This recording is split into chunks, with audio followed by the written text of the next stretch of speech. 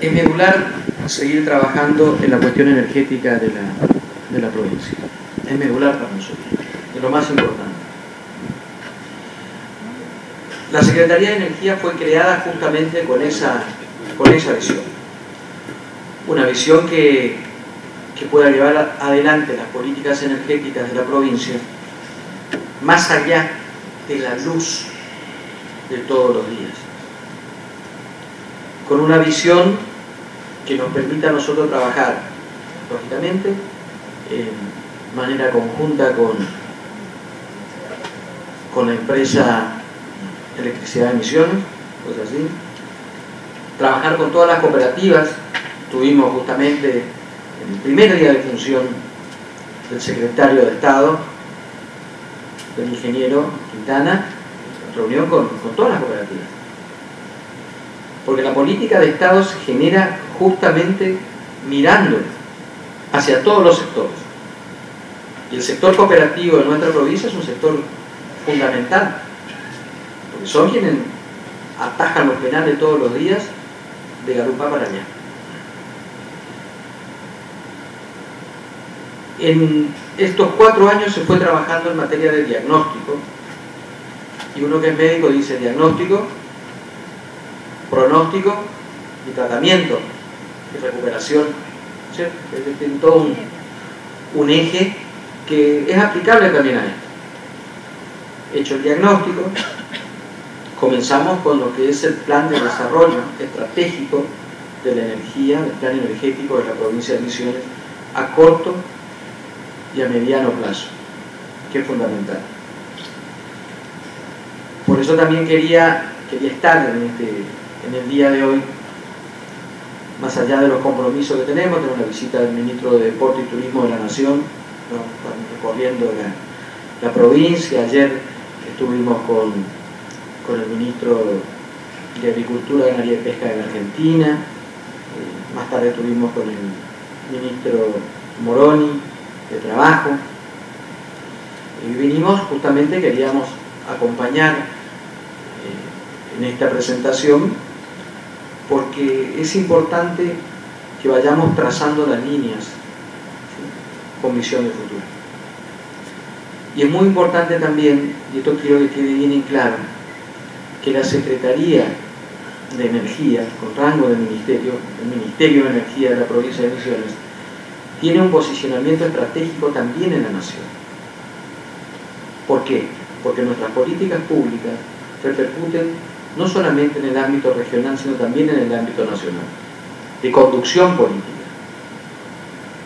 con clara visión estratégica.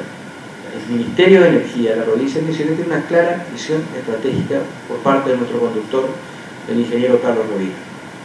Así que agradecerles a, a ustedes por, por venir, por acompañarnos, agradecerle al presidente de la Cámara por darnos la, la oportunidad de, de, hacerlo en este lugar, al presidente del bloque, compañero y amigo Martín Ceciman, ministro de Hacienda, contador Álvaro Serrana, don Guillermo Eichler, presidente de la empresa, a todos ustedes que forman parte también de, del esquema de trabajo que va a estar este, relacionado con todo lo que podamos trazar hoy y el ingeniero Quintana pueda desarrollar a partir de, de este tiempo que va a tener la responsabilidad de ser el secretario de Energía de la provincia de Misiones. Así que la voy a hacer corta porque creo que la parte técnica es la, es la más importante de todo y dejando bien en claro justamente que la traza de la, de la política energética de la provincia está justamente en esta área y en este ámbito. ¿no? Gracias. de hoy fue presentar el Plan Estratégico Provincial en el cual nos vamos a basar. Este plan tiene distintos eh, metas, o sea, tiene una meta a corto, una a mediano y una a largo plazo. El plan de obras de eléctrico misionero, el de redes, eh, es un proyecto a largo plazo, a bastante largo plazo, de 10 a 20 años, en lo cual necesitamos eh, mucha financiación.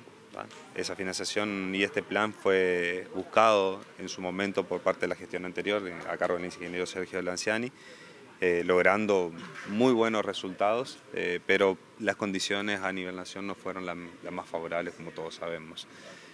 hoy en día la idea es continuar con ese, ese, plan, con ese plan de gestión iniciado anteriormente y tratar de reactivarlo lo, más rápido posible.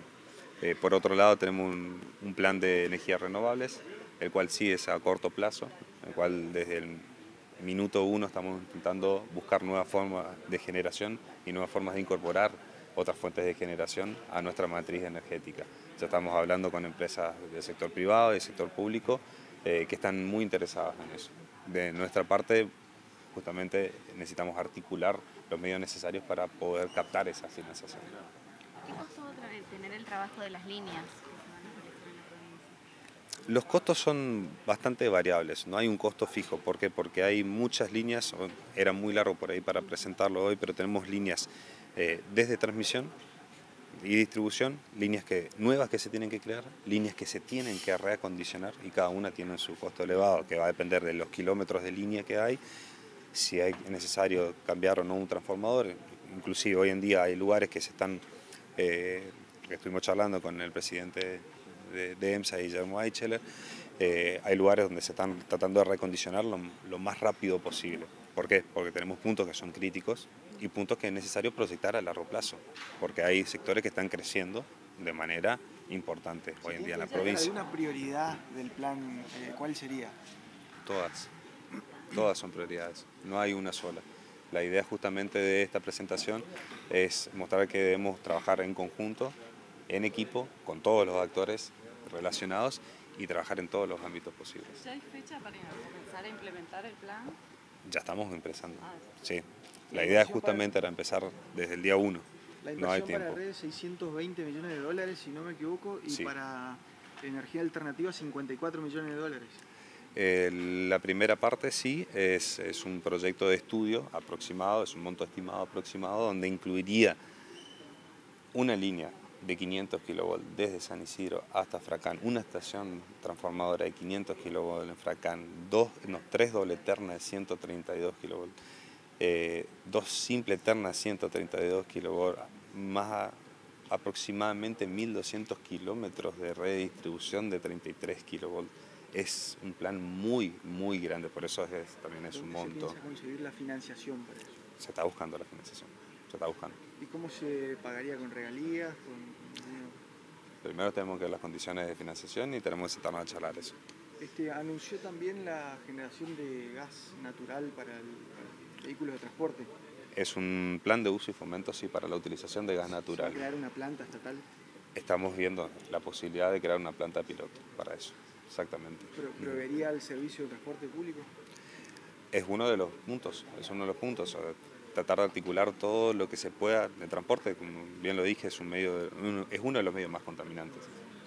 Eh, hay una eficiencia energética del 30-35% económica y, energética en cuanto al diésel. Eh, si bien nosotros no tenemos una red de gasoducto como en varios lugares de la Argentina, tenemos que tratar de trabajar sobre eso. El secretario anterior eh, fomentaba por ahí el aprovechamiento hidráulico y hablaba permanentemente de la cuestión de las represas, era pro represa, digamos. ¿Usted en qué posición se ubica eh, al respecto de esa temática? Yo creo que todas las fuentes de energía son necesarias.